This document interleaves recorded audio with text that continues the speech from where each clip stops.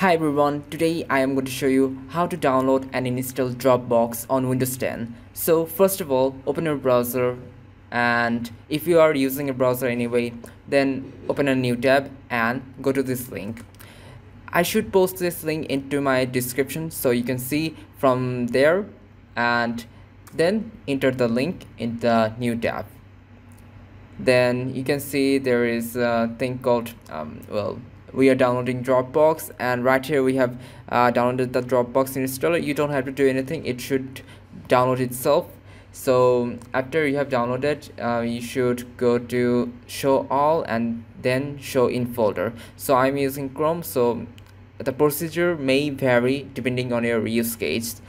Then after you have uh, found this software you have to double click on it and then um, it will ask for you for your permission. So uh, click yes and then yes it is going to initialize and you should wait a little bit here.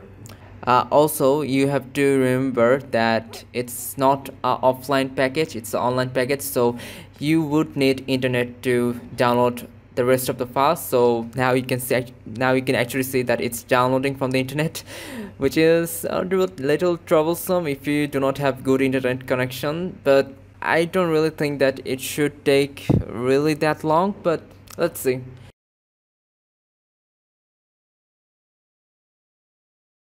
Uh, you know what? Let's just skip this. Yeah that's what I'm talking about so you can see it is it has almost downloaded and the download has completed. You can see that. So the installation should begin right now.